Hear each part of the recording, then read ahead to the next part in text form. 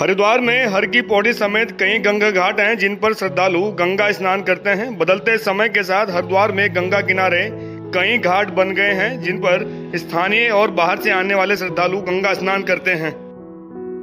वहीं गंगा घाटों की नियमित रूप से साफ़ सफ़ाई होना भी एक बड़ा कार्य है। गंगा घाटों पर नियमित रूप से साफ़ सफ़ाई होने के लिए जिला प्रशासन ने ऑन माई घाट योजना से कुछ गंगा घाटों को निजी हाथों में सौंप दिया है, जिसमें गंगा घाटों की नियमित रूप से साफ़ सफ़ाई रखेंगे।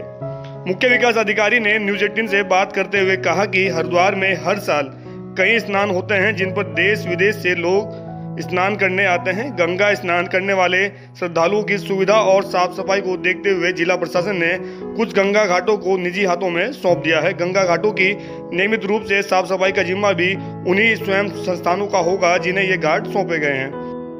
मुख्य विकास अधिकारी प्रतीक जैन बताते हैं कि नगर निगम के माध्यम से ऑन माई गार्ड योजना की शुरुआत की गई है, जिसमें धार्मिक संस्थानों और कई संस्थानों को हरिद्वार के गंगा घाटों को गोद लेने के लिए एक मैसेज दिया गया था। मुख्य विकास अधिकारी बताते हैं कि ऐसा करने से गोद लिए गए घाटों का रखरखाव और घाटों की साफ़ सफ़ाई नियमित रूप से होती रहेगी। नगर निगम द्वारा हरिद्वार के गंगा घाटों पर होने वाली साफ़ सफ़ाई को और अच्छा बनाने और घाटों को सुंदर बनाने के लिए ऑन माई घाट योजना की शुरुआत की गई है। सुनिए क्या कहते हैं मुख्य विकास अधिकारी प्रतीक जैन।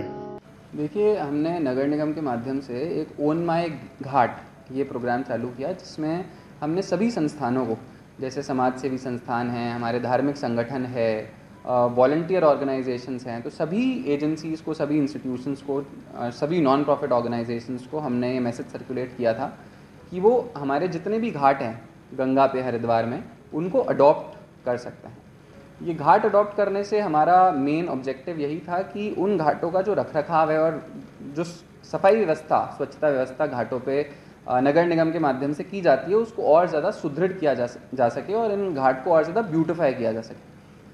तो अब बहुत सारे ऑर्गेनाइजेशंस आए, बहुत सारे इंस्टीट्यूशंस ऐसे आए जिन्होंने अप्लाई किया, उनके साथ हमने नगर निगम के माध्यम से अग्रीमेंट एम भी साइन करवा लिया है ये हमने स्टार्ट कर दिया है।